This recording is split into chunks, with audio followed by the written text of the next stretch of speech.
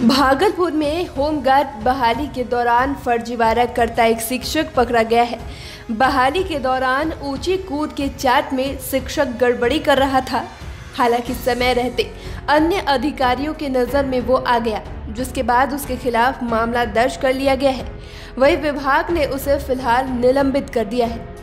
आरोपी शिक्षक अनुसूचित जाति जनजाति में सहायक शिक्षक के पद पर तैनात है।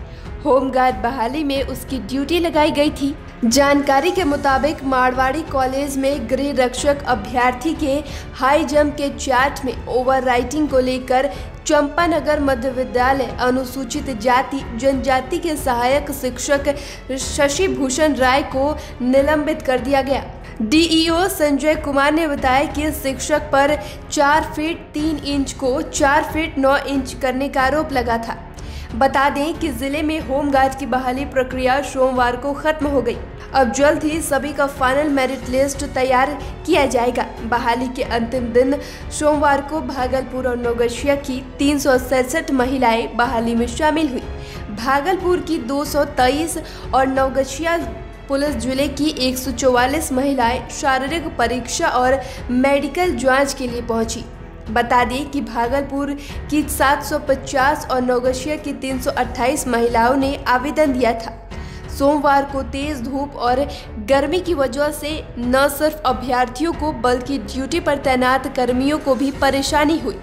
बहाली प्रक्रिया के दौरान दौड़ समन्वयक के साथ ही चार अभ्यर्थी भी मूर्छित हो गई, जिसके बाद समन्वयक को अस्पताल भेजा गया, जबकि अभ्यर्थियों को मैदान में ही मेडिकल सुविधा उपलब्ध कराई गई, जिससे वह ठीक हो गई।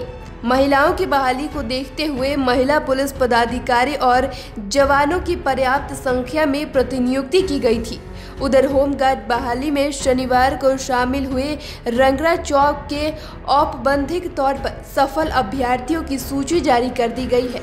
उस प्रखंड के एक अभ्यर्थियों को सफल घोषित किया गया है, जिनमें पाँच को मेडिकल अनफिट करार दिया गया है। होमगार्ड बहाली में शामिल सफल अभ्यर्थियों को औपबंधिक सूची बहाली के अगले ही दिन जारी कर दिया जा रहा है। होमगार्ड के जिला समादेष्टा के मुताबिक फाइनल मेरिट बनाने का कार्य भी शुरू हो गया है।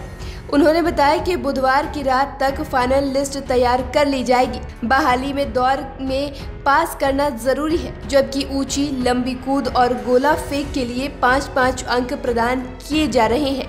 उन्हें पंद्रह अंकों में मेरिट बननी है। चार मई से बहाली प्रक्रिया शुरू हुई थी, जो सोमवार को समाप्त हो गई। सोमवार को मारवाड़ी कॉलेज मैदान में प्रशासनिक और पुलिस पदाधिकारी भी मौजूद थे। बता दें कि बिहार में होमगार्ड के लिए 2009 और 2011 में आवेदन मांगे गए थे। हालाँकि विभिन्न कारणों की वजह से बहाली की प्रक्रिया अटकती रही। बाद में अभ्यर्थियों को आंदोलन तक करना पड़ा, जिसके बाद पिछले कुछ महीनों से बहाली की प्रक्रिया शुरू की गई।